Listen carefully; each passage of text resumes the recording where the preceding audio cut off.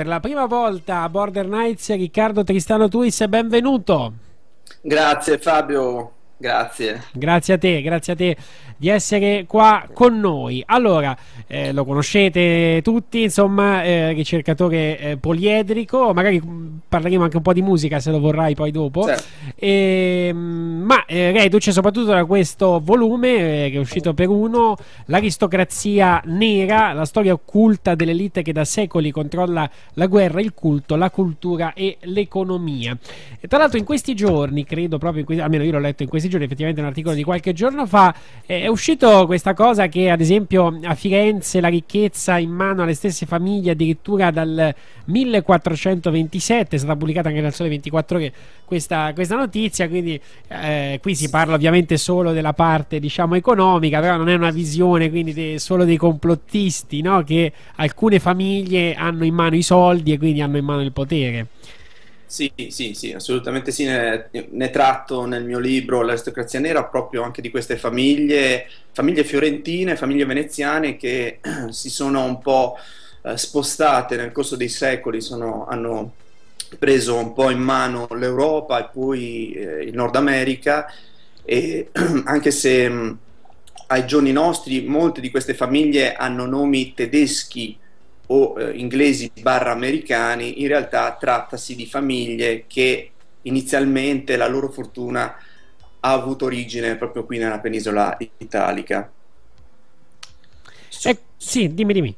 Sì, sì, sono famiglie mh, mm, eh, spesso sconosciute, nomi che non dicono nulla alla maggior parte delle persone, e, ma in realtà sono, come dire, mh, mm, i, i grandi burattinai dell'economia eh, dei giorni nostri. Poi magari dopo eh, approfondiremo meglio l'argomento.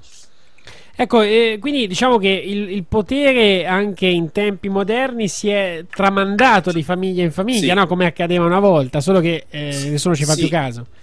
Sì, si, si, è tramandato e più che altro si sono fusi diversi poteri, diversi eh, clan, diverse tribù si sono fuse, ci sono gli aristocratici di un tempo, non ci sono più, si sono in qualche modo fusi con un altro gruppo, tra virgolette, di aristocratici. Um, non ci sono più dei ceppi eh, completamente originali. Uh, faccio un esempio. Adesso, in tempi recenti, un po' eh, la maggior parte dei, degli scrittori, dei ricercatori tendono a mm, puntare il dito sulla famiglia Rothschild, che è una famiglia molto potente di banchieri, ma che eh, diciamo mm, non è il vertice di questa catena piramidale. E questi signori comunque la loro fortuna la si deve a, una, a un connubio con eh, il Vaticano e con alcune famiglie reali con cui si sono in qualche modo eh, sono confluite eh, le famiglie originarie dei Rothschild che avevano altri nomi a quei tempi. Pertanto eh, le famiglie che, han, che, detengono il potere sono la fusione di gruppi diversi di eh, individui, quelli più prettamente ehm, bancari e commerciali e quelli prettamente eh, elitari eh, dei reali europei. nel corso dei secoli si sono fusi e si è creato queste, queste famiglie ibride che sono al vertice della, del potere mondiale, dell'economia mondiale. Ecco, tu la chiami l'aristocrazia nera, nel senso che dietro queste famiglie c'è anche una ritualità, diciamo, esoterica negativa? Sì, eh, beh, l'aristocrazia nera, il termine ha molte valenze. Um, diciamo che una delle valenze è, dipende anche dal fatto che queste famiglie portano avanti un, un proprio culto che è abbastanza cruento. È un po' un antico culto che ha avuto diversi nomi in varie, in varie epoche diciamo che in tempi recenti viene definito come eh, satanismo, ma è un termine troppo vago, in realtà dovremmo chiamarlo saturnismo o comunque un culto legato a una divinità che eh, necessita di eh, sacrifici umani, almeno così lo raccontano i, gli aderenti a, questo, a, questi culti così estremi. Um, sono questi personaggi di facciata ovviamente si presentano come persone atee o, cristiani timorati di Dio o, come, o con uh, una, un'impostazione prettamente scientifica, mentre in realtà uh, dietro le quinte continuano a praticare un culto uh, millenario che possiamo trovare traccia fin dai tempi di, dell'antica Sumer. Ecco, hai citato i sacrifici, eh, secondo te eh, ancora oggi diciamo con modalità ovviamente diverse, ma eh, viene portata avanti anche oggi questa, questa pratica? Sì, sì, sì, oggi più che mai, nel senso non ha, non ha mai smesso, il, il, sacrificio umano è una parte integrante della forma mentis religiosa. Eh, di fatto ne troviamo tracce già nell'Antico Testamento che non è altro che una, una vestigia di culti ancora più antichi. Uh, in tempi moderni troviamo diversi culti che praticano uh, queste, queste, ritualistiche con l'impiego di animali o di umani, nello specifico tendono a scegliere bambini o uh, donne. è una pratica purtroppo tuttora in uso e la si può notare anche da da i numeri di scomparsi eh, presenti nella, in Europa o negli Stati Uniti d'America. Ci sono molte gole profonde che lavorano all'interno mh, di alcune basi americane che hanno denunciato questa cosa, che ci sono proprio delle, dei gruppi all'interno dei servizi segreti, del, dei militari, che hanno il compito di procurare il materiale umano per compiere determinate ritualistiche o per impiegarli con, per determinati eh, esperimenti di vario ordine. È un, un, tema molto oscuro, siamo entrati un po' su mm. temi alquanto pesantucci. Subito così, per rompere sì, il ghiaccio. Diciamo che nel mio libro comunque l'aristocrazia nera tratto, è un libro prettamente storico, è un saggio storico, un revisionismo storico con un'impronta um, anche scientifica perché tratto l'argomento dei campi mentali, che è un argomento importantissimo per comprendere la storia, la metastoria, la psicostoria ci sono tanti termini per um, addentrarci nel nostro passato e per leggere la storia in una maniera più approfondita. Eh, diciamo che um, la storia si scrive in base a determinati copioni. Questi copioni ci sono delle, delle, delle persone che hanno Uh, come esempio l'aristocrazia nera, che hanno certamente un ruolo uh, primario e importante, però ci sono altri fattori eh, che dobbiamo prendere in considerazione. E nel mio libro lo spiego impiegando dei concetti prettamente della, della fisica, infatti parlo del cosiddetto campo, di cui in qualche modo eh, la, la, forma mentis di questi signori eh, è in qualche modo inglobata all'interno di eh, un campo informatico informativo che determina il modus operandi, o il modus operandi all'interno delle società umane e all'interno di determinati individui, eccetera, eccetera. Ehm, diciamo che quando parliamo eh, del comportamento umano eh, c'è di mezzo un qualcos'altro che esula dall'aspetto più materico o prettamente storico e in questo libro eh, accenno vagamente perché comunque sono eh, concetti mh, mm, diciamo un po' complessi se non si studiano neuroscienze o fisica, ma sono importanti per far comprendere determinati eventi, determinati movimenti all'interno della società. Questo schema quindi di cui parli, cioè questi, diciamo, questi appartenenti a queste famiglie, è come se eh, fossero, mm, non so se usare il termine, manipolati in partenza, ma diciamo il loro, sì. il loro percorso è diciamo, definito all'interno di questo campo. Sì, sì, sì. Eh, dobbiamo tenere conto che nell'esoterismo si è impiegato um, il termine di egregora, immagino che tu sì. uh, l'abbia già sentito più volte. Sì. Spesso um, determinate persone che studiano fenomeni in qualche modo mh, associabili all'esoterismo impiegano il termine egregora.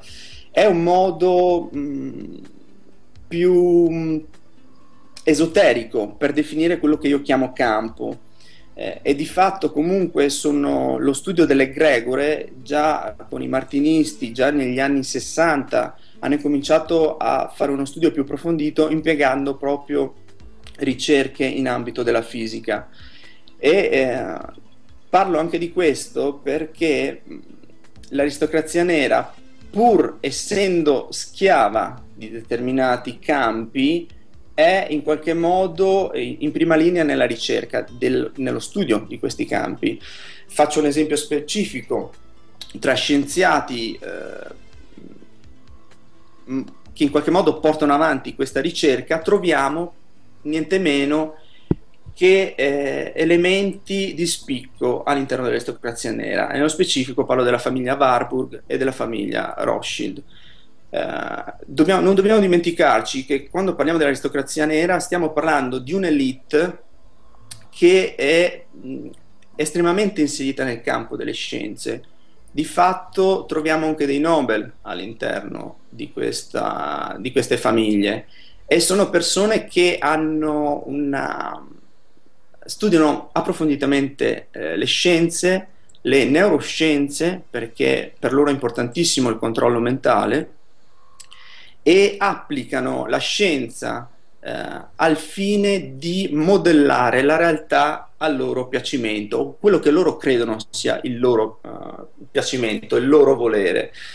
L'argomento è estremamente complesso, ma penso di aver già un po' uh, dato sentore di, del, delle, degli studi che ho portato avanti su questo campo, che sono decisamente estremi per chi non è addentro a determinate tematiche. Allora, eh, intanto ricordiamo l'indirizzo email bordernights.webradionetwork.eu per eh, inviare le proprie domande. Siamo ovviamente come al solito anche sul gruppo Facebook nostro Border Nights. A questo proposito Patti chiede in questa tua rappresentazione dove e come collochi massoneria e Rosa Croce? Allora, diciamo che um, ci sono... L'aristocrazia, l'aristocrazia nera impiega tre livelli di comunicazione Um, il primo lavora in maniera es- esoterica ed è rappresentato dalla religione, dalle religioni. Uh, le religioni sono in mano a determinate famiglie che gestiscono anche il potere economico. Um, poi c'è un secondo livello, il livello mesoterico, dove troviamo la massoneria, ordini cavallereschi, Rosa Croce, eccetera. Poi ci sono un terzo livello dove ci sono le elite, i gruppi più, più addentro a determinate conoscenze.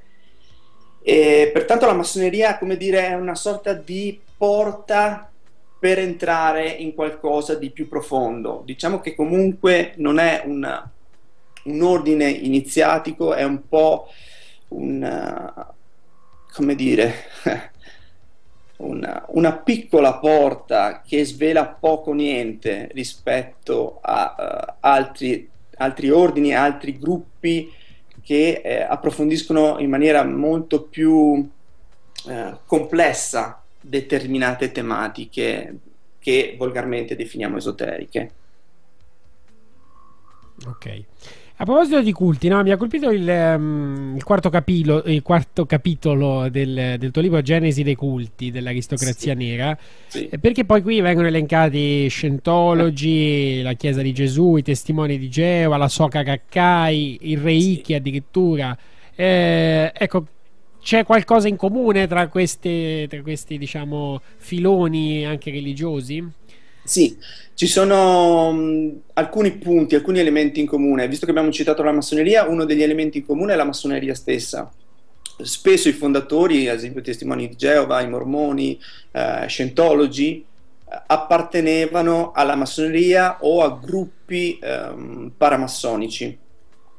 Anche nel Soga Gakkai o nel Reiki comunque ci sono delle infiltrazioni e ehm, in qualche modo si è portato questi culti sono stati portati avanti da appartenenti a, uh, alla massoneria o a, a, a, logge affiliate, gruppi affiliati.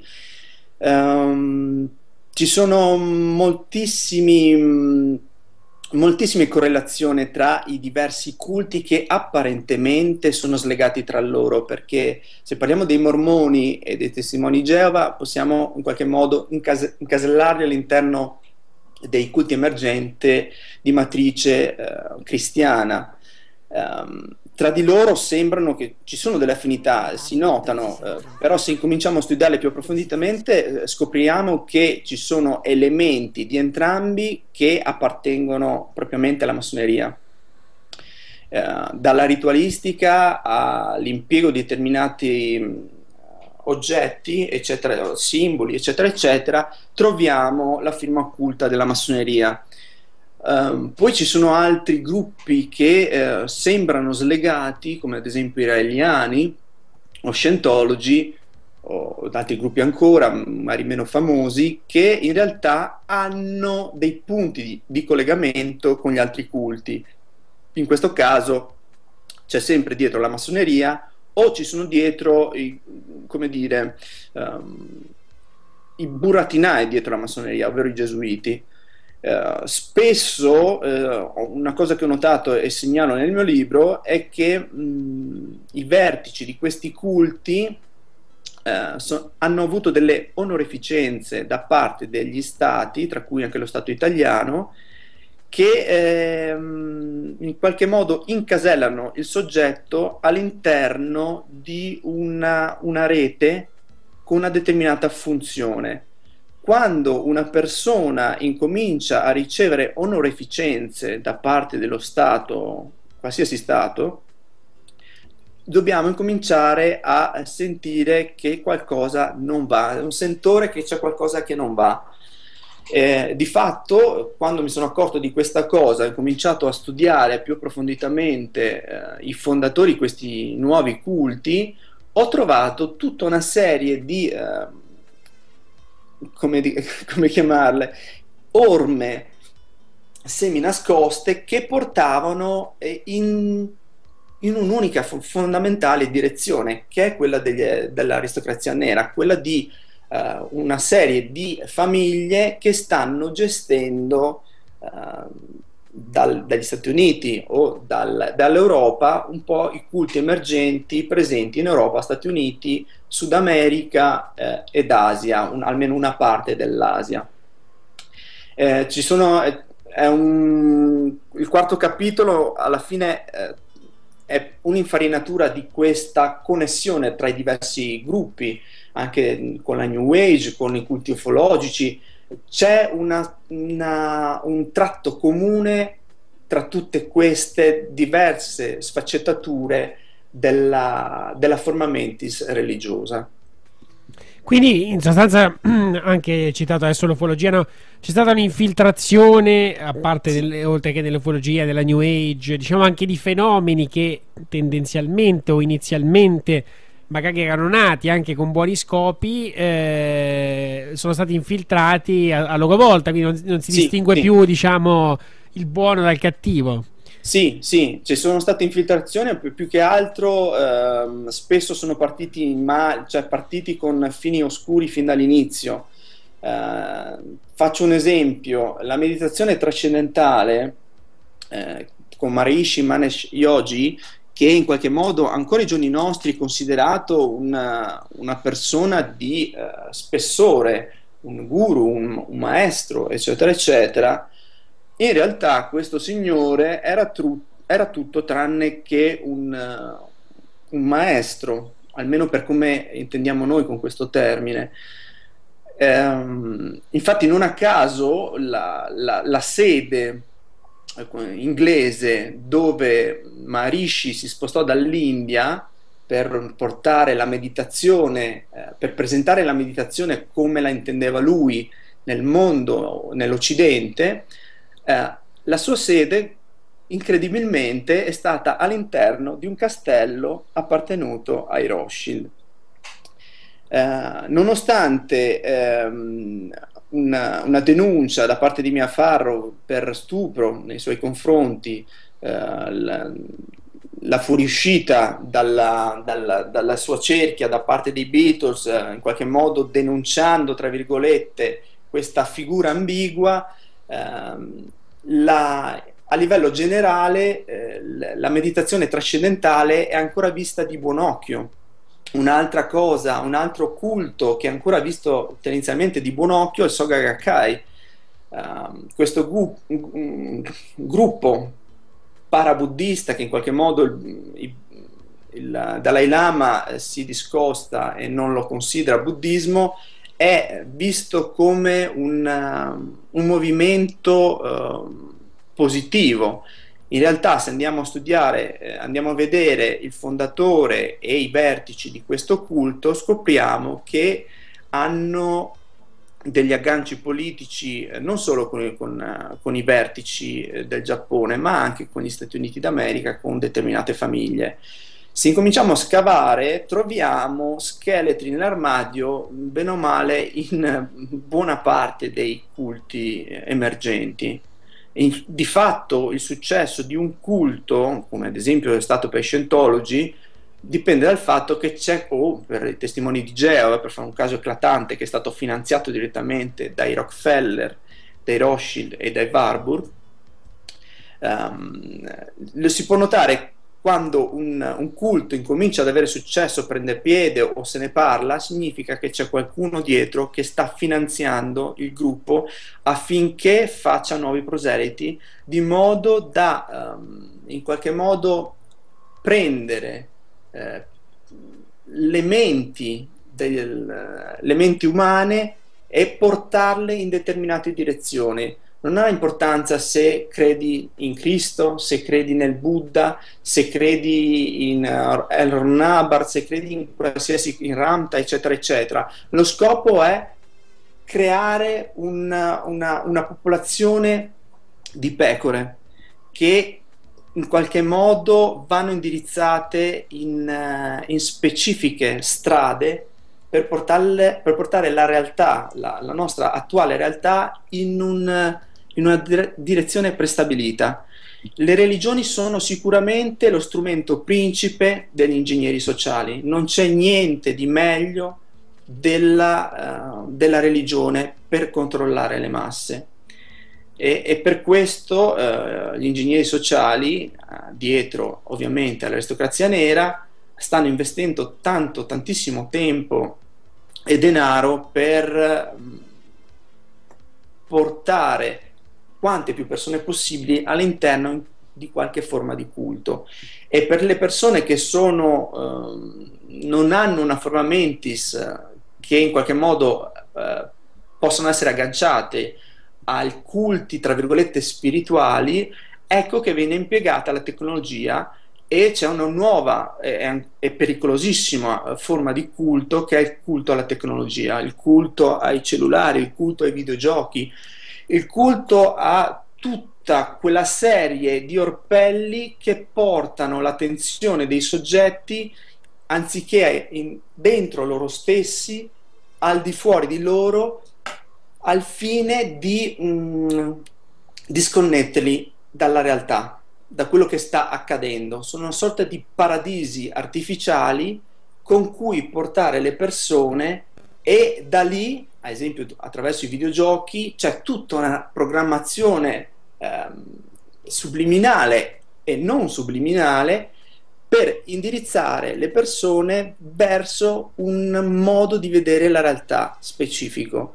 Un'altra mh, mm, ingegnerizzazione sociale potentissima, mh, mm, diciamo quasi ai livelli della religione, è la musica la musica è quell'arte barra scienza, perché la musica non è solo un'arte, è una scienza, si basa sulla geometria e sulla matematica, né più né meno.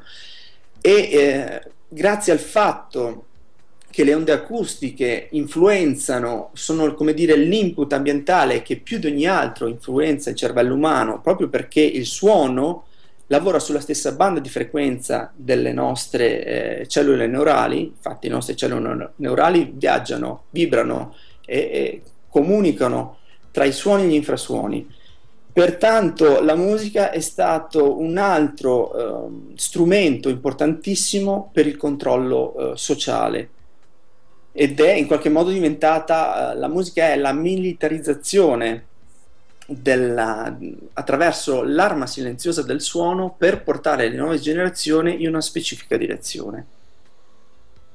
Eh, visto che hai citato, perché è un tema che, di cui ne sono sia vittima che però mi piace anche osservarlo, eh, parlo no, della, della, tecnologia vittima nel senso che ovviamente, sì. no, come anche adesso no, stiamo parlando alla fine certo. tra, attraverso la tecnologia, e, però mi rendo conto, l'ho detto tante volte, che eh, anche non volendo siamo un po' ipnotizzati no? dal, dal, dall'iPhone, dallo smartphone, eccetera, eh, sì. crea- creando false mh, priorità, no? perché una volta ovviamente non ce ne sarebbe fregato di nulla sapere esatto. cosa ha detto uno, cosa ha detto l'altro. No, adesso siamo sempre a vedere ma c'è la notifica, non c'è la notifica. E quello che mi chiedo io è se dietro tutto questo, no, alla fine, eh, cioè, era proprio un disegno voluto oppure diciamo, se ne sono resi conto in un secondo momento che in prima sì. battuta era un business, in seconda battuta era una grande arma di ipnosi collettiva. Eh sì, sì, sì, sì, no. domanda legittima, ehm, è un po' eh, entrambe le cose. Eh, diciamo che sono, la, la, tecnologia è sorta in ambito prettamente militare, la, l'attuale tecnologia che c'è in commercio eh, a livello civile in realtà proviene da ricerche universitarie per lo più americane, ehm, ma non solo, che in qualche modo ehm, sono legate a, eh, i, alla, al Ministero della Difesa e a, a determinati mh, gruppi privati e per uso militare, non solo internet. Ehm, ad esempio, faccio un esempio, il Pentium che è uscito negli anni 90, ecco, 90 qualcosa per uso civile, in realtà era un, uh, un elemento impiegato in ambito militare eh, 25-30 anni prima da determinati, uh, determinati, gruppi dei militari, perché dobbiamo fare anche distinguere, ci sono vari livelli di militarizzazione di tecnologia militare ehm, alcuna è obsoleta e altra è molto avanzata. Uh, adesso, ad esempio, noi abbiamo una uh, computer molto veloci rispetto a 15-20 anni fa, ma sono niente rispetto alla tecnologia presente eh, nel DARPA, in, questa, in questo organismo um, americano che usa la tecnologia uh, in maniera estremamente avanzata e i loro computer lavorano a qubit, cioè a bit quantistici, hanno una processione di calcolo impressionante, riescono a fare in qualche modo previsioni eh, del futuro, eh, riescono a stabilire le mosse in anticipo perché in base ai nomi, alle eh, parole digitalizzate nella, nel, nei, nei computer, ci sono tutta una serie di strumenti per fare una radiografia istantanea della, della, della, del campo collettivo mentale umano per stabilire le mosse che devono fare. Questa tecnologia non usa più chip al silicio, ma usa tecnologia con DNA artificiale, DNA sintetico si chiama. Sono praticamente mh, un po', se abbiamo visto la serie Star Trek, sono elementi organici con elementi eh, tecnologici e questi computer sono tra virgolette umani, nel senso impiegano eh, materiale umano per potenziare gli effetti. Perché fanno tutto questo? Uh, perché impiegano questa tecnologia costosissima per cercare di uh, portare la, l'umanità in una determinata direzione? Perché questi signori so, hanno una fottuta paura di perdere eh, il loro potere.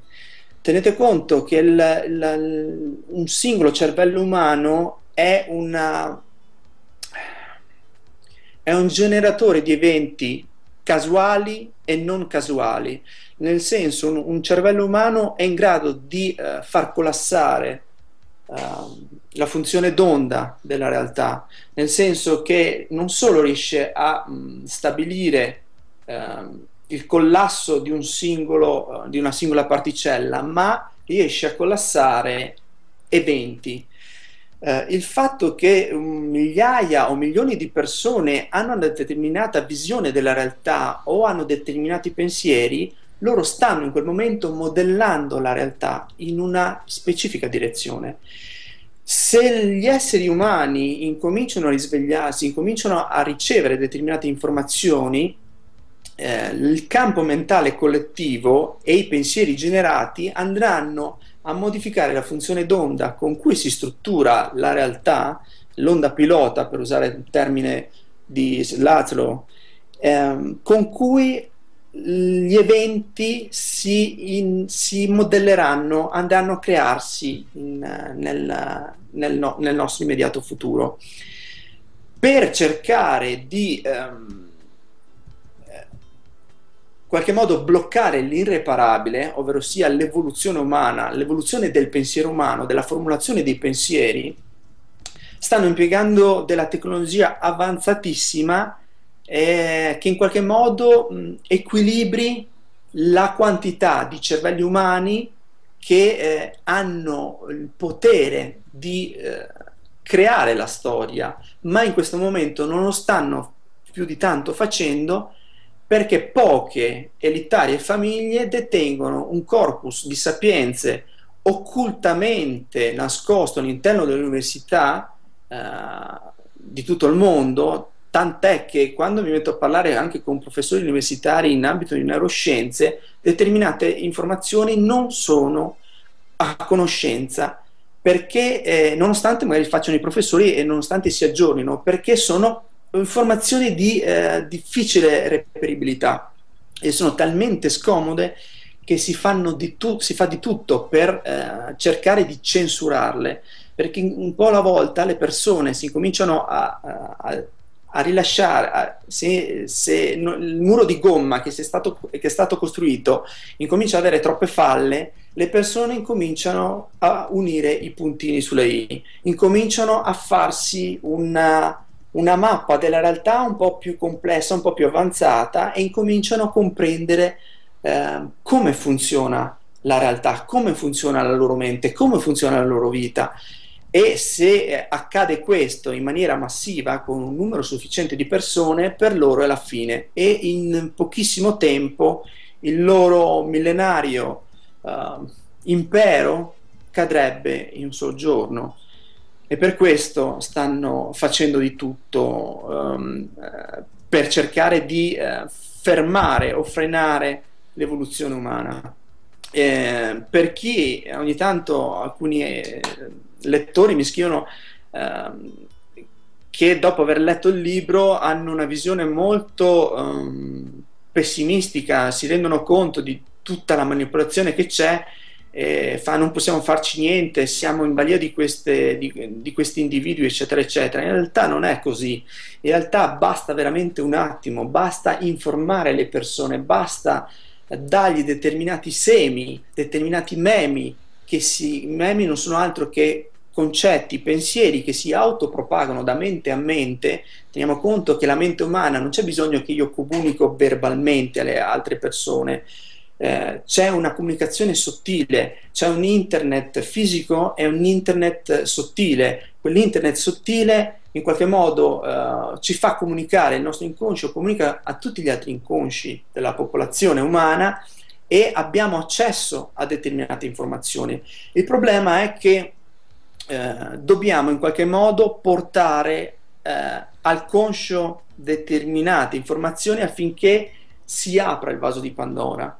È per questo che in questo momento c'è ancora bisogno di fare comunicazione verbale, comunicazione attraverso i libri, per portare le persone fino a una determinata soglia. Poi non ci sarà più bisogno dei relatori, non ci sarà più bisogno di scrittori, di persone che denunciano, perché si sarà innestato questo, quelle quell'effetto domino che ci porterà a un'espansione della consapevolezza che, eh, che questi signori non riusciranno più a fermare. E pertanto eh, nostra, il nostro futuro può essere estremamente roseo, dipende dalle nostre scelte che, che facciamo nel, nel nostro immediato futuro. Ecco, qui c'è stato un, eh, un, punto di contatto con la visione, insomma, molto paradisiaca di prima, che non, non credo tu abbia ascoltato di, di Silvano Agosti, no? che diceva che tra 30 anni, insomma, sa- ci sarebbe ecco, un sistema molto diverso da quello attuale. Ecco, e, diciamo che quest- questa previsione eh, ci auguriamo insomma che eh, si avveri poi ognuno la esprime sì. ovviamente come meglio crede Voglio... è una previsione nel senso che ci sono vari split di, di, di, vari potenziali. Uno è questo, diciamo ci possono essere anche quelli oscuri, ma è un buon potenziale, non è da sottovalutare e non è da avere una visione cupa della, del nostro futuro. Certo è che bisogna, bisogna, informare le persone, bisogna darsi da fare, ognuno di noi. Un lettore, non, cioè non ci devono essere solo i relatori, sono alcune persone che eh, in qualche modo fanno da ariete e si scontrano questo, col, con il sistema, c'è bisogno del lavoro di tutti, c'è bisogno del supporto di tutti. Allora, volevo il supporto appunto di, anche di Paolo Franceschetti che eh, dovrebbe averci ascoltato, eh, appena accende il suo mm, microfono potrà essere con noi. Paolo, vediamo se lo recuperiamo. Sì, io lo vedo collegato. Paolo, ci senti? Solito momento. Tutte le settimane così, eh, non ti preoccupare perché è che sbaglia il bottone, la cosa. Eh, eh, vediamo se si, si materializza o se le rivelazioni sulla Soka Gakkai l'hanno definitivamente eh, va bene insomma Paolo quando sei incomodo eh, sarà andato a mangiare non lo so che cosa a mezzanotte e un quarto arriva un po', un po' di fame allora eh, comunque, eh, quando poi ci ascolti e interrompici pure, eh, no, so- sono, ah, ci, ah, ci sei, eh, senti qua, tu sei, stavi arrivando da, da, dalla cucina, quant- quantomeno. Da dove no, stai? Stavo dormendo. Ah, addirittura. ah, stavo sei arrivato un po' col fiatone. In realtà ho sentito tutto. Oggi è stata una giornata particolarmente eh. pesante, quindi prima stavo, con, con Silvano Agosti non riusciamo a interloquire. Adesso mi sono appisolato un po' sul letto. Insomma, comunque ho sentito tutto, anche la cosa sulla Soga Gakkai. allora, bene. E dici, ecco, dici magari di quella parte o di altre, quelle che insomma ti hanno colpito di più, se vuoi dire la tua, insomma. Ma, mh, mm, ma, parlo solo della parte mia della cosa. Ma eh, ci ho pensato se intervenire o no, no? Perché la Soga Gakkai è la la società a cui sono, mm, cioè l'organizzazione a cui sono affiliato. E, mm, però ora, se, siccome in linea di massima sono, mm, condivido il discorso che ha fatto, insomma mi piacciono le ricerche di Riccardo, ho il suo libro e me lo sono letto, e se contestassi questa parte qua sembra che poi uno contesta tutto, ma non è così, insomma. C'era, diciamo un po' un'imprecisione forse, cioè il fondatore della Soka Gakkai dice che ha agganci con la massoneria e questo è vero, ma non è il fondatore, ehm, cioè sono i tre ultimi maestri della Soka Gakkai, anzi in particolare l'ultimo poi, perché il, il penultimo e il terzultimo, Toda e Makiguchi, mh, credo che non c'entrassero proprio niente con la Soka Gakkai. Ehm, cioè scusa con uh, la nobiltà nera. E, sì, l'ultimo sì, ma stiamo parlando di un'organizzazione che, cioè di, una, di, di, un buddismo che nasce nel 1200 ad opera di un monaco che io non credo che avesse questi agganci, se poi dalle sue ricerche risulta che ci sono, magari può essere pure, però insomma mi pare che... No, no, no, io mi, io mi rifaccio a Makiguchi. Um, eh, dal mio punto di vista il Sogakai nasce nel 1930 se poi dopo lo fanno passare nel passato un po' come Scientology che dicono che praticamente Scientology non è altro che l'ordine de- del serpente egizio è un altro discorso. Ma qui sfociamo nel mito sfociamo in una serie di elementi che non sono non è facile non sono di facile reperibilità. Nel senso lo, lo chiamo mito perché come si può dimostrare che è stata fondata nel 1200, nel 1300, nel 1400. No, aspetta, non la so cacca. Allora, il buddismo nasce con Buddha. Eh il, sì. Poi una delle diramazioni del buddismo, eh, de, ci, ci, sono tanti buddismi, uno certo. è quello di Nichiren e nasce nel 1200. La Soka Gakkai è una delle tante organizzazioni che si rifanno al buddismo di Nichiren. C'è la Nichiren Shu, c'è la Nichiren Shoshu, c'è... Okay, in questo senso, ok. Eh, quindi... Okay. Allora, il discorso generale è vero, ma eh, non, non è il, diciamo, la Soga Kai nulla a che vedere con, o meglio, i, gli ultimi eh, diciamo, capi della Soka Kai nulla hanno a che vedere con, con Nichiren Daishonin e col buddismo poi anche in generale, cioè sono solo persone che hanno diffuso il uh, buddismo in una particolare forma, ma mh, come dire, è un po' come mm, confondere la Chiesa Cattolica con, con, Cristo, cioè sono due cose diverse, insomma, oppure i testimoni di Geova con, eh, eh sì, no, con, con Cristo, cioè quelle sono organizzazioni create dall'uomo. Eh? Sì, eh, mh, mm, però il Soga Kakai non è, eh, in ambito, il Dalai Lama non l'ha riconosciuto, pertanto il Soga Kakai nel momento in cui si presenta come buddismo, eh, i buddisti stessi eh, denunciano la cosa come eh, non vera. È altrettanto vero che comunque anche il Dalai Lama non è ben visto da alcuni eh, gruppi buddisti, perché il buddismo tibetano non è in realtà vero buddismo. Um, è, è l'amaismo con influenze Bon. Ci sono varie interpretazioni, ognuno dice la sua. Diciamo che comunque il buddismo eh, ormai è stato in qualche modo eh, corrotto nel corso dei secoli, perfino all'interno delle scuole zen, che sono le più dove si sono trincerati all'interno di un in qualche modo della, dell'antica tradizione, perfino loro hanno perso alcuni, alcuni pezzi nel corso dei secoli. E diciamo che il Soga Kai ha elementi interessanti come ce li ha anche in Scientology. Anche in Scientology ci sono elementi interessanti, certamente, e sicuramente nel Soga Kai come in Scientology c'è veramente brava gente. Però bisogna fare un distinguo fra la, le brave persone all'interno che mandano avanti un movimento e eh, creano il buon nome di quel movimento e i vertici che in realtà sono persone corrotte. Un, un caso lampante è il, il, movimento di Osho, che eh, ai vertici avevamo delle persone che erano collegate a giri di droga, a giri di armi. I concetti, determinati concetti sono interessanti, sono buoni, sono utili, altri un po' meno, perché nel momento in cui Mm, ci si rifà a determinate egregore millenarie che in realtà hanno funzioni di uh, accorporamento delle menti umane, ecco che anche perfino il buddismo, che eh, tieni conto che io sono un po' un simpatizzante del buddismo, um, porta con sé degli elementi negativi. Um, ciò non toglie che all'interno del Sogakai c'è gente che ci crede, c'è gente che fa del bene, come in molti altri movimenti. Sto dicendo che eh, i vertici sono corrotti. I vertici, e per vertici intendo tutta la serie di eh, personaggi che eh, da un certo momento storico hanno preso le redini della, di, questo, di, questi um, lucrosi movimenti perché eh, sono diventati dei, eh, delle holding, sono diventate del, delle multinazionali con cui si fanno moltissimi soldi. Beh, nel caso della Sopraccai i soldi non li hanno fatti grazie al movimento perché eh, Ikeda ha, ha, proprio una banca, quindi i soldi li stampava lui, li stampa lui sostanzialmente. Quindi certo hanno le offerte dei fedeli, ma quelle sono minima cosa rispetto alla grandiosa quantità di soldi, che è una cosa esagerata, che può muovere Ikeda stesso, insomma, e che ha mosso per creare questa organizzazione, insomma, non è lucrosa l'organizzazione in sé. Mm, eh, diciamo che probabilmente nel, sì, è, è, vero, nel caso del Soga Kai c'è un, è, è, più marginale l'aspetto economico. Mm, le denunce che ha, che ha avuto Ikeda sono il fatto che ha usato questo movimento per aumentare il proprio potere e il culto alla sua persona.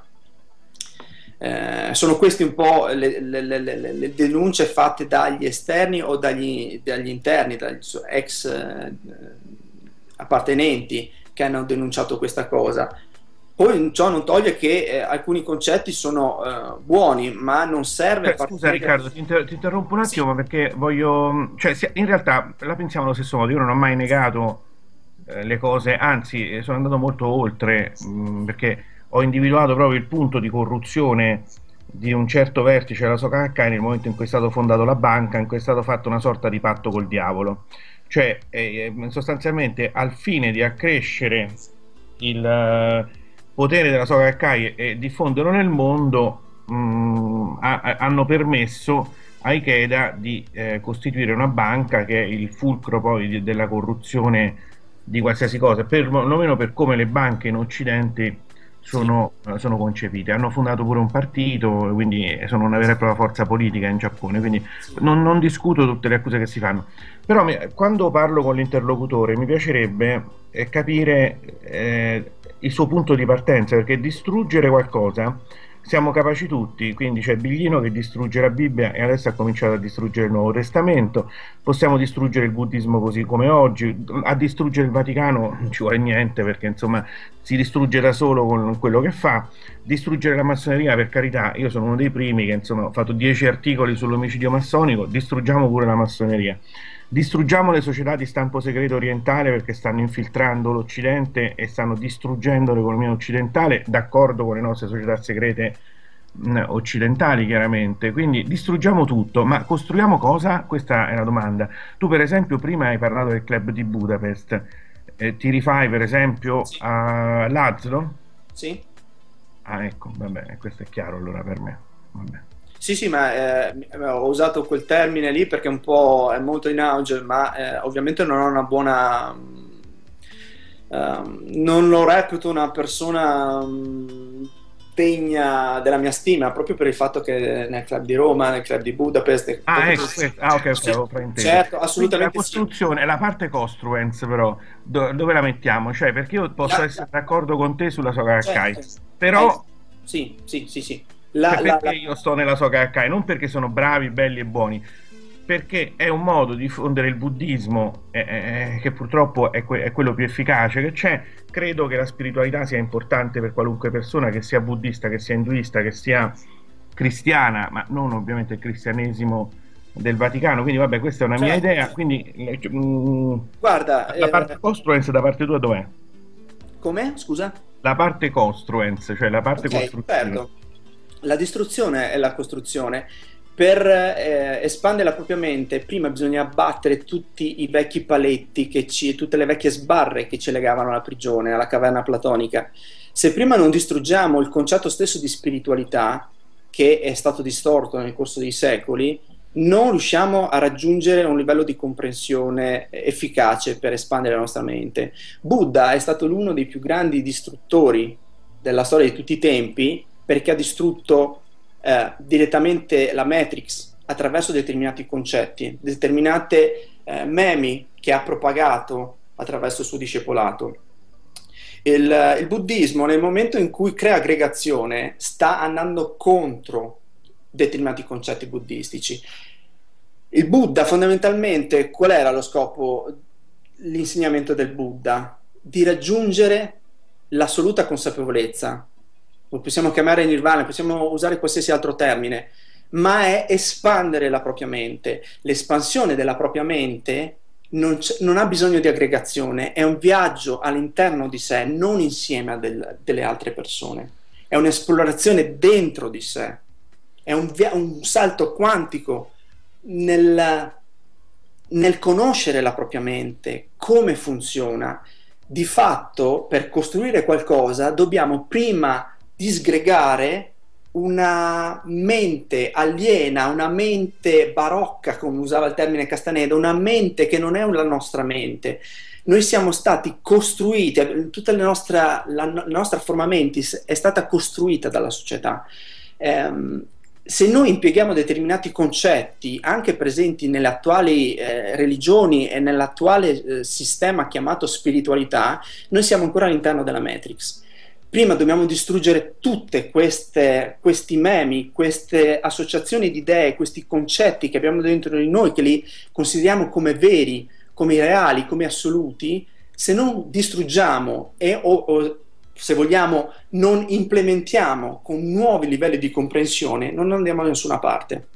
Per ampliare nuovi livelli di comprensione e espandere la nostra mente non c'è bisogno di nulla che di un concetto e farlo attecchire dentro di noi, esplorarlo. Non c'è bisogno delle religioni. Io distruggo le religioni perché in qualche modo hanno la funzione di portare eh, l'essere umano lontano da se stesso, lontano dall'esplorazione della sua mente. Eh, e per questo eh, la mia parte distruttiva in realtà è la parte costruttiva, perché sto lanciando un seme, un meme, e quel meme è semplicemente eh, stai da solo, hai determinati eh, concetti, ti arrivano determinate informazioni, falle tue, esplorane, comincia a conoscere come funziona la tua mente. Nel, nel metodo Zenix, Zenix parlo di questa cosa. Non c'è bisogno di eh, leggere testi sacri o, o fare determinati mantra. La cosa importante per comprendersi è vedere come funziona la nostra mente cos- i meccanismi che scattano dentro di noi che ci portano a avere determinate emozioni e determinati pensieri. È lì la grande Matrix, è lì che c'è una mente che non è la nostra mente, una mente altrui che in qualche modo si è impossessata del nostro pro- processo decisionale, del nostro processo eh, di ragionamento, eccetera, eccetera. Eh, io sono oh, un fautore del pensiero originale, del pensiero creativo e per avere questo tipo di pensiero, di facoltà, c'è bisogno di solitudine, c'è bisogno di introspezione. E la più grande religione, la più grande spiritualità è l'introspezione, perché Dio è dentro di noi, non fuori di noi. Fuori c'è la Matrix. Noi siamo Dio, si può sintetizzare così? Sì, eh, per certi versi sì, anche se è stato usato in maniera, adesso viene distorto in una determinata New Age, spe- specie con Ramta che è un po' il fulcro della mm, New Age o della gnosi mm, per le masse, il punto più elevato, ma, ma anche più subdolo, perché eh, sì, noi siamo Dio, però non noi come personalità umana, non noi come maschera sociale, quel noi più profondo, quel noi che è il tutto. Ehm, e per raggiungere quel noi dobbiamo diventare impersonali. Ed è la cosa, il, il passo, il grande passo che dobbiamo fare, diventare impersonali. Ehm, abbattere l'ego e in qualche modo amplificarci all'interno eh, in qualche modo il nostro piccolo ego si deve annichilire per far spazio all'essere qualsiasi cosa più abbiamo accesso a, um, in qualche modo ci sentiamo parte del tutto o di, di spicchi del tutto un po' più grandi di quello che in questo momento pensiamo di essere, siamo nella strada giusta perché stiamo espandendo la nostra individualità in una in una eh, abbiamo perso forse Riccardo mi senti? Paolo?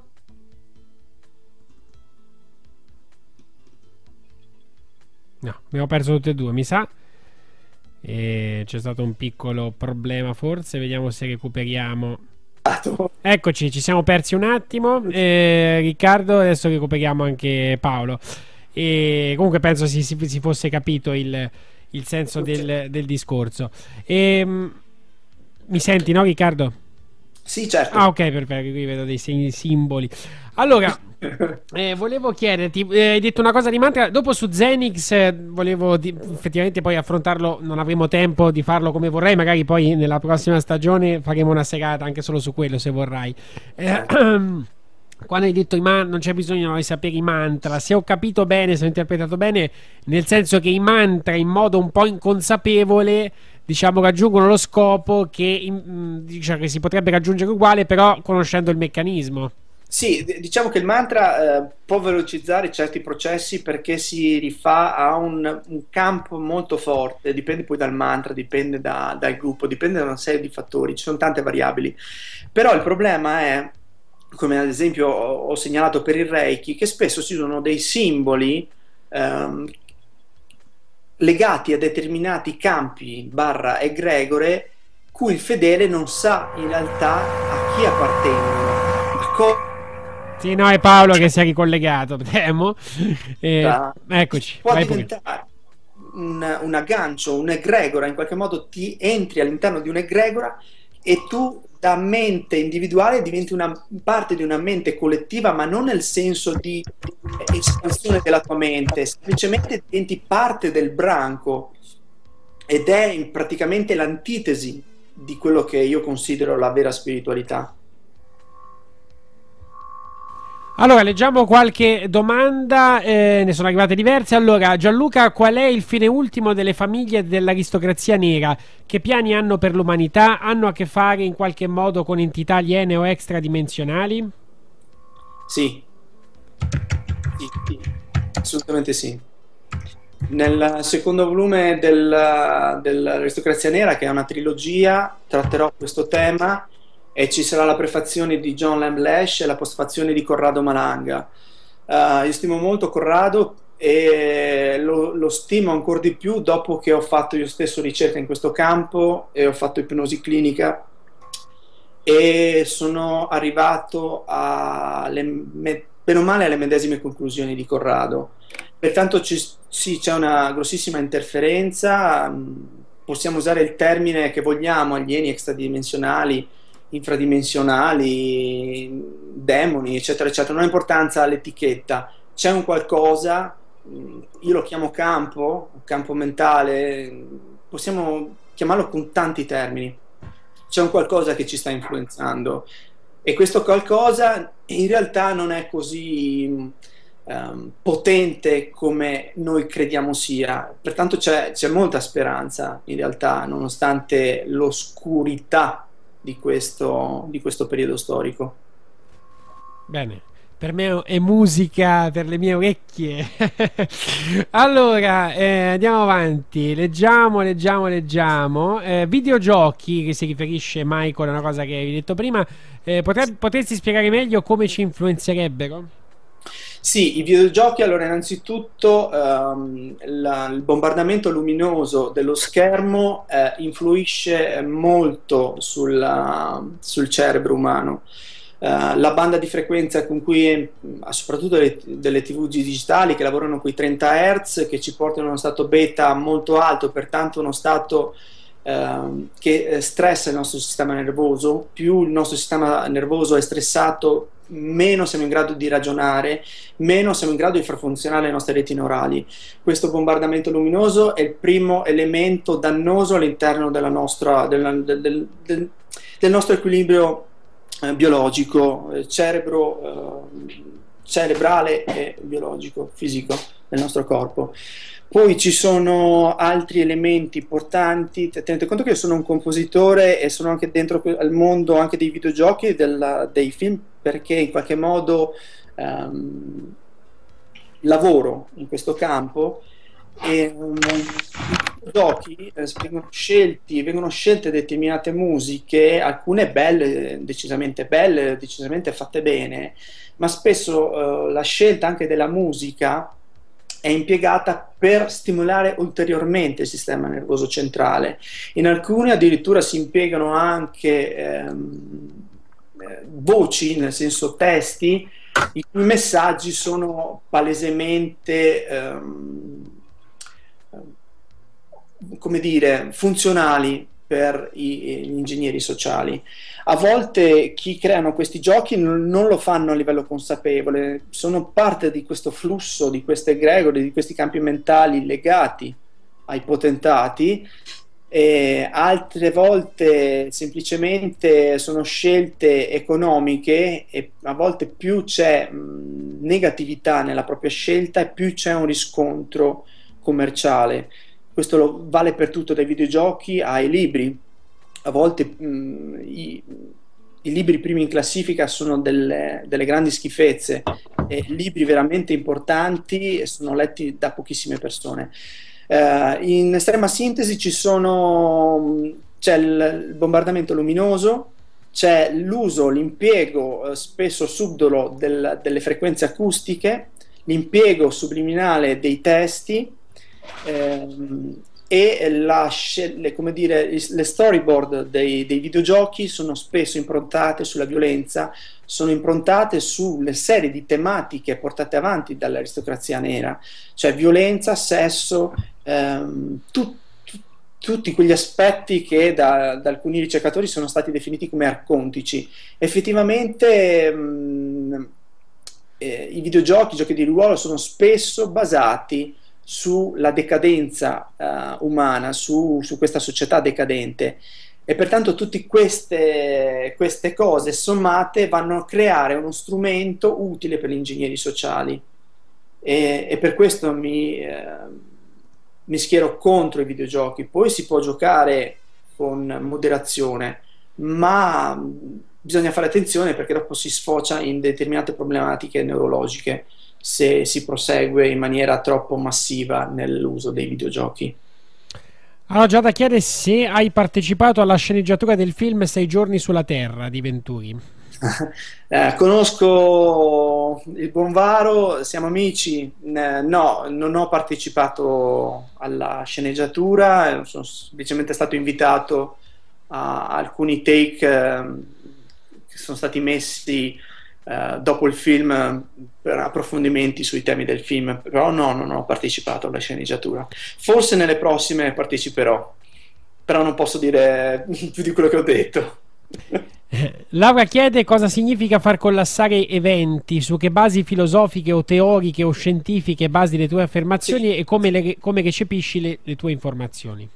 Sì, queste cose si basano su elementi prettamente scientifici, mm, mi baso sulla scuola di Copenaghen, io mi rifaccio alla fisica dei quanti, mi rifaccio a tutto l'esperimento della doppia fenditura, all'esperimento della scelta ritardata, tutta una serie di sperimentazioni fatte fin dagli anni 80, anche prima in realtà, Uh, in cui si è um, dimostrato, secondo i, i sacri crismi della scienza accademica, che effettivamente il cervello umano e l'osservatore, il cosiddetto effetto osservatore, influenza le probabilità con cui una particella o una, un agglomerato di particelle vanno a um, entra, entrano nel, nel, nostro continuum spazio-temporale.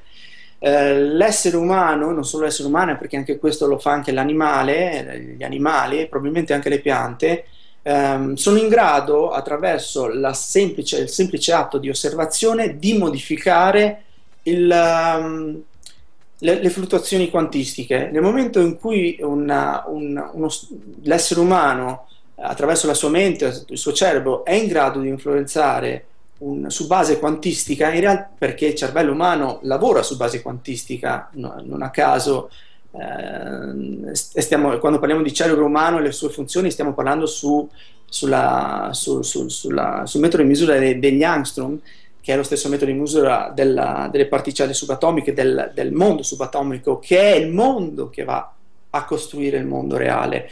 Il mondo subatomico non è altro quello che Bohm definiva l'ordine implicito non è altro che la matrice eh, occulta con cui si va a costruire questa matrice, matrice più grossolana che chiamiamo realtà fisica, ma che in realtà fisica non è perché come ho parlato nel metodo Zenix, in realtà la realtà umana, la materia non esiste, tutto è spirito, tutto è energia. La materia non è altro che una presa per il culo che ci è stato uh, insegnato fin da bambini, dicendoci che è solida perché è fisica. In realtà, attraverso la teoria dell'atomo, che che si studia nelle università che spiega che il 99,9% della, della, dell'atomo è costituito da vuoto, il senso di solidità, di realtà fisica dipende semplicemente dal fatto che è un effetto elettrostatico, eh, una repulsione elettrostatica tra gli elettroni che ci dà la sensazione che l'oggetto sia solido, ma in realtà non è solido, semplicemente vibra sulla stessa banda di frequenza con cui vibra la nostra mano, con cui vibra il nostro corpo, ma siamo onde eh, informatiche, informative che si scontano con altre onde informatiche, informative che eh, all'apparenza sembrano entrambe fisiche, ma sono fisiche solo per i nostri attuali modelli di comprensione della realtà, modelli sociali, ma non modelli scientifici, perché i modelli scientifici eh, ormai si sono, gli scienziati più evoluti, diciamo così, si sono resi conto che ehm, non solo la nostra realtà è un, un agglomerato di eh, onde elettromagnetiche che si costituiscono a campi, ma la mente umana è il più grande generatore di, eh, eventi eh, e di modellazione della, con cui gli eventi accadranno. Vi faccio un esempio. Io posso far accadere un evento fisico, nel senso eh, voglio far cadere la penna, la prendo in mano e la faccio cadere, ma ci sono delle modellazioni metamodellazioni della realtà molto più sottili che eh, si creano attraverso l'energia, del sing- l'energia mentale di un singolo pensiero che a volte confluisce con mh, mm, migliaia di altri pensieri umani che vanno a modificare proprio il modo con cui magari il soggetto che ha la responsabilità di fare una determinata scelta compirà in base alle pressioni di campo del, delle menti umane che in quel momento sta ricevendo. Eh, è una cosa un po' complessa, magari non è questa la sede per entrare, mi sono già forse un po' troppo addentrato. Diciamo che la mente umana è in grado di influenzare gli eventi fisici, perché in realtà non sono fisici. Dobbiamo tenere conto che il pensiero umano non è altro che un'onda elettromagnetica, un vettore elettromagnetico perlomeno, che eh, lavora con bande di frequenza similari alle onde di frequenza che vanno a costituirsi gli oggetti. Pertanto il pensiero umano e gli oggetti presenti nella nostra realtà lavorano all'interno di un range di frequenza specifico che in qualche modo um, porta il pensiero umano ad essere materico, o meglio, la, la materia non è altro che pensiero umano, poiché trattasi di eh, bande di frequenza similari che interagiscono tra loro. Eh, vi faccio un esempio specifico, le persone con capacità extrasensoriali riescono a, a creare dei disturbi eh, su apparecchiatura eh, elettrica perché ehm, il loro campo è talmente forte che va a influenzare il, uh, il campo dell'oggetto stesso. E siccome i campi uh, del, di un oggetto elettronico sono molto più sensibili rispetto al campo di un pezzo di legno, di un albero, si vede un maggiore effetto un, effetto, un effetto più eclatante, ma in realtà questi effetti li possiamo fare e ricevere da qualsiasi cosa, perché in qualche modo siamo collegati, siamo un tutt'uno, un flusso continuo di onde elettromagnetiche e non solo onde elettromagnetiche che, che in qualche modo vanno a costituire quello che definiamo realtà, quello che io definisco Matrix.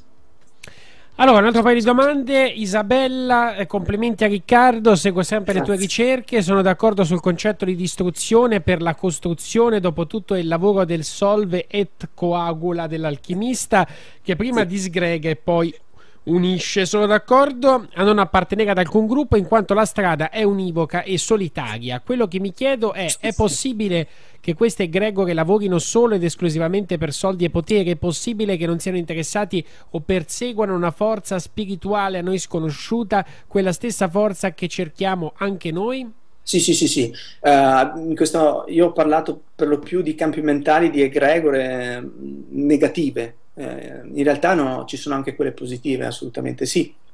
Diciamo che in questa realtà, nella realtà umana, eh, per lo più sono presenti quelle negative, ma in realtà ci sono anche quelle positive. E, mm, bisogna in qualche modo entrare nel loro campo, bisogna fare un lavoro di introspezione, poi ci si può agganciare questo tipo di egregore che possono essere anche utili per un determinato percorso evolutivo, ma bisogna essere a un certo livello di consapevolezza per non farsi ingannare, per non impiegare uh, questi flussi di coscienza più evoluta mm, affinché non diventino stampelle, affinché non ci portino a uh, rallentare il nostro processo di evoluzione che è sempre personale ed è la nostra, um, come dire, è il nostro percorso. Non dobbiamo, cioè, in qualche modo, quando incominciamo, se io incomincio a parlare di egregore campi mentali positivi, la gente comincia a pensare, ah vabbè, io mi aggancio a quel campo mentale positivo, ah, ho risolto i problemi, mi, mi aggancio all'angelo custode di turno, eccetera, eccetera, ma le cose non funzionano così. Se non hai un livello di consapevolezza tale da comprendere che tipo di eh, livello mh, mm, evolutivo è quell'egregora, lascia stare eh, devi essere un, un, livello molto avanzato per lavorare con le egregore positive. Siccome l'essere umano all'interno di questa società sta eh, in qualche modo bombardato costantemente da egregore negative, difficilmente sarà in grado di agganciarsi egregore barra campi mentali di più alto ordine. Pertanto il mio consiglio eh, è di eh, estraniarsi da tutto e da tutti, di non farsi viaggi con la mente, mh, mm, agganciare, la persona crede di agganciarsi con l'alieno di turno, col maestro asceso di turno, eccetera, eccetera. Il viaggio deve essere fatto in solitaria, la scalata verso la comprensione di noi stessi va fatto in solitaria. È l'unico, è il modo più sicuro per, per, per non farsi bloccare, per non farsi pigliare per il culo da, da cose che hanno eh, il compito o il, il desiderio di rallentare il nostro processo di risveglio. L'ultima cosa che ti chiedo è appunto su, su Zenix, se eh, cioè, ogni, al di là della, della, consapevolezza di cui dicevi adesso, no? certo. eh, in questo modello di realtà, cioè, è possibile per ognuno di noi eh, diciamo testare questo modello nel senso di dire, ovviamente immagino debbano essere, eh, non è che uno può dire no, voglio andare sulla Luna, eccetera, però diciamo per avere una, eh, come qualcuno sta chiedendo anche nel gruppo, cioè un risvolto pratico no, di, di, questi concetti. Eh, si può, eh, che ne so, tentare di generare un evento attraverso questo modello e, e vedere se riusciamo a crearlo, a programmarlo, come dici tu. Assolutamente sì, io nel, nel, mio metodo consiglio sempre di iniziare dalle piccole cose, perché è un discorso di energia. Um, il cervello umano è in grado di collassare sicuramente particelle subatomiche anche in grossa misura, però arriva fino a un certo punto, perché mh, il pensiero umano, prima ho parlato che è un'onda elettromagnetica, ha comunque, mh, lavora su un vettore di ampiezza, cioè su una quantità di energia in grado di um, far scuotere il codice sorgente con cui la realtà si struttura. Um, noi se non lavoriamo per espandere, aumentare il nostro livello energetico, non possiamo modellare la realtà su cose di un, di un certo livello che superano la nostra quantità di energia eh, ordinaria. Beh, vai. Pertanto um, bisogna cominciare con le piccole cose e giustamente Gurdjieff eh, insegnava ai suoi allievi ad aumentare la quantità di energia. In questo in realtà anche um, Castaneda ne parla. Castaneda è una, è una scuola un po' ambigua perché presenta elementi negativi con elementi positivi, ma per ciò che concerne l'aspetto dell'energia aveva assolutamente ragione, bisogna come Gurdjieff, bisogna accumularla, bisogna non, saper non sprecarla in cose futili, perché ehm, abbiamo accesso a un certo livello di energia che è basato al nostro livello di mente e dobbiamo impiegarla al meglio, quel quantum di energia che giornalmente siamo in grado di emettere. Mm, si comincia a modellare la realtà con piccole cose, poi mm, attraverso una determinata respirazione, una determinata alimentazione, un determinato un retto pensiero, per usare un termine del Buddha, si incomincia ad avere accesso a serbatoi energetici di più alto, eh, chiamiamolo quantità barra qualità. Da lì in poi si può incominciare a lavorare con... Ehm, a modificare la realtà su cose un po' più grandi, ma è un percorso che va fatto step by step. Bisogna cominciare con le piccole cose, avere successo, perché se cominci dalle grandi cose e poi non riesci a farle, eh, in qualche modo invalidi questo, questo, concetto, pensi che non sia vero, e è diventata la tua verità. Questa verità in realtà è il più grande inganno, autoinganno che ti fai. Pertanto bisogna dare le informazioni correttamente e spiegare a chi vuole in qualche modo lavorare con queste cose, di cominciare con piccole, piccole cose e, e far tesoro di questi piccoli successi, eh, in qualche modo rende, dobbiamo r- creare una rete neurale in cui c'è il successo, in cui ci rendiamo conto, sappiamo che riusciamo a modificare degli eventi nel nostro futuro. Eh, nel momento in cui si crea questa rete neurale, poi la espandiamo e attraverso l'energia e il giusto utilizzo del, del, nostro, del nostro laser, perché il pensiero umano è una sorta di laser, se impiegato bene, con cui andiamo a scrivere nella lastra uh, fotografica della, realtà, della nostra realtà un, qualcosa di un po' più grande ma sono, si procede step by step. Pertanto eh, bisogna sapere gestire l'energia e ancora prima dobbiamo saper gestire la nostra mente e i nostri pensieri. Per eh, modellare la realtà c'è bisogno di eh, saper concentrare il proprio flusso di pensiero in un singolo frame, in un singolo ologramma che corrisponde all'obiettivo che vogliamo raggiungere. E questa non è una cosa semplice, cioè, nel buddismo si impiegano decenni per riuscire a raggiungere un certo grado di controllo dell'ologramma interno. E una volta che abbiamo questo controllo, eh, riusciamo a fare grandi cose, ma nell'immediato dobbiamo allenarci a tenere l'immagine mentale del nostro obiettivo nel corso della giornata per qualche secondo. Incominciamo con qualche secondo a ricordarci dell'obiettivo che vogliamo raggiungere, a vederlo nella nostra mente già realizzato nell'immediato futuro. Si comincia da questi piccoli passi. Allora, Zenix, eh, ricordiamo che era un altro tuo mm, libro, è un modello più che altro, possiamo definire così, un, un insieme di conoscenze eh, che appunto dalle quali poi si ricava eh, questo modello che tu chiami anche di coscienza integrata. Allora, ehm, io ti ringrazio Riccardo di essere stato a lungo con noi e credo che abbiamo risposto, insomma, risposto alle domande che sono arrivate. E se vuoi aggiungere qualcosa e... no diciamo che ho già dato. Non bombardarvi troppo. Riccardo grazie grazie allora e buon proseguimento buonanotte. Ciao, ciao. Riccardo. Ciao ciao Paolo